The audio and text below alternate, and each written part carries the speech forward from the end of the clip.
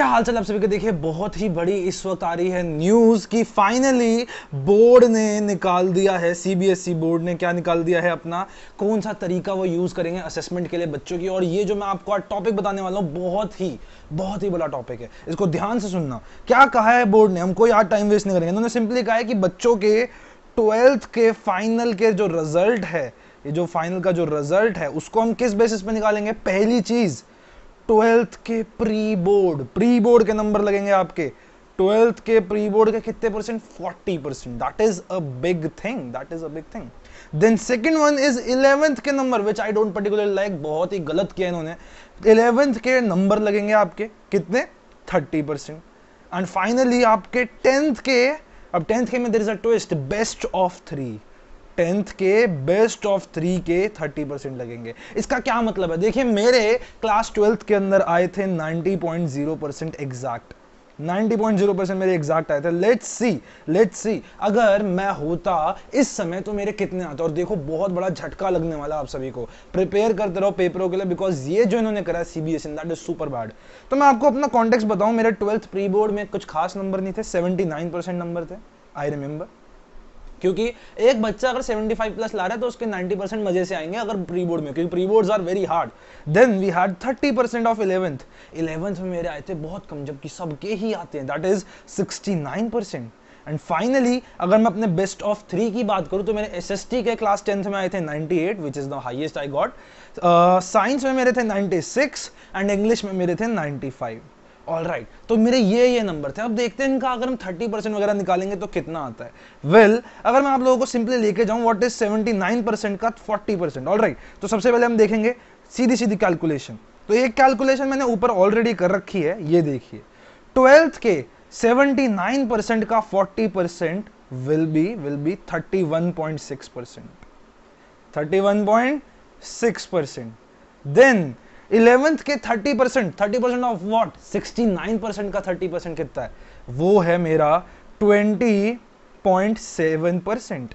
That is 20.7 percent. And finally finally की अगर मैं बात करूँ व्हाट इज़ मेरे 98 96 95 ये कितना बन रहा था? 289 out of 300 that is 289 out of 300 ये है मेरे अराउंड 96.3 परसेंट। इसका फॉर थर्टी परसेंट कितना बनेगा? इसका thirty percent is twenty eight point nine percent twenty eight point nine percent which is very good but total करने पे क्या आता है?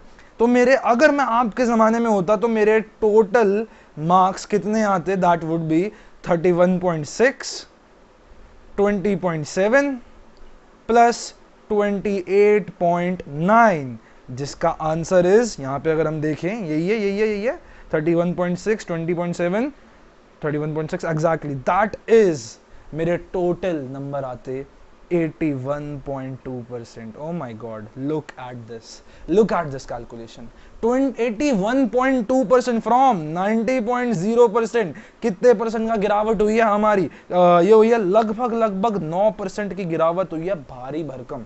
या मैं कहूँ 8.8 परसेंट की गिरावट हुई है. इतनी बड़ी गिरावट। अगर आपके मेरे से रिलेटेड नंबर आए थे तो आप समझ सकते हो, ये आपका नया आने वाला है। तो क्या आप इसमें सेटिस्फाइड हो? बिल्कुल नहीं होना चाहिए। इसके अंदर आपको बिल्कुल सेटिस्फाइड नहीं होना चाहिए। फॉर द फैक्ट मेरे तो टेंथ में फिर भी बहुत अच्छे नंबर आए थे। आई हैड 92 परसेंट तो भैया, संभल के रहो। पढ़ाई करते रहो। पहले ही अपनी मार्किंग डिसाइड कर लो। ज़रूरी नहीं एटी वन पॉइंट टू है क्या पता ज़्यादा भी आ सकते हैं। बट बेस समझ के रहो कि 85 से ऊपर तो बिल्कुल नहीं आने वाले।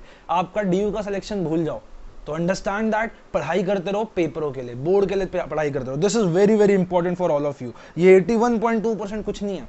This is nothing in front of 90.0 percent तो अगर मेरे 90 से 81 गए हैं तो किसी के 95 से 85 चले जाएँगे। Look at this look at the ratio बहुत बड़ी रेशो है। समझो इस बात को कि सीबीएसई e ने इस बार बहुत बड़ा गंदा खेल खेल दिया आप सभी के साथ। प्लीज़ हालाँकि मैं कहूँगा पैनिक मत करो। डू नॉट पैनिक पैनिक नहीं करने का।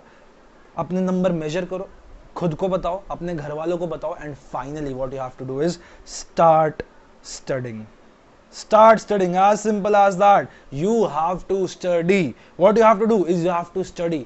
Fast जल्दी से शुरू हो जाओ मेरे भाई। अगर आपके नंबर कम आ रहे हैं बोर्ड आप ये समझ लो डीयू के अंदर अभी भी कट ऑफ़ ऊँची जाएगी। बच्चों के बहुत अच्छे अच्छे नंबर भी आए हैं। हद से हद डीयू की अगर 99 परसेंट जाते थे तो कितने गिर जाएँगे? 95 96 परसेंट गिर जाएँगे। इससे ज़्यादा नीचे तो नहीं जाएँगे। अगर 93 परसेंट भी गए तो आप तो तब भी 85 में अटके हुए बिल्कुल नहीं आएँगे। तो understand that work hard for your papers now अगर आपको लग रहा है कि मेरे नंबर कम आ रहे हैं। With that this was a very short video आप लोगों के मैं लेता हूँ इजाज़त. I was Akshay Sharma thank you so much जय हिंद जय भारत